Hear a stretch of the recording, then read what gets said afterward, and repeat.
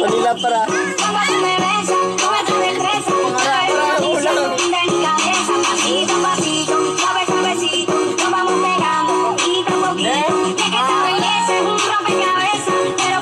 Pangangalan, no?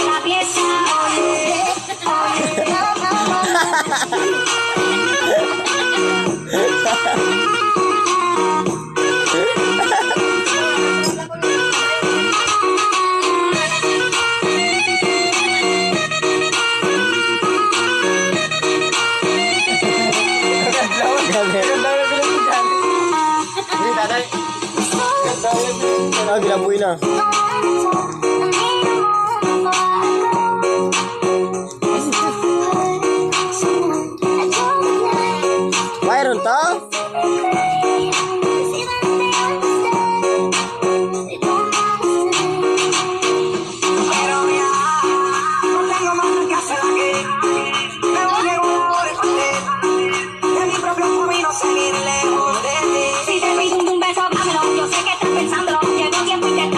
Thank you.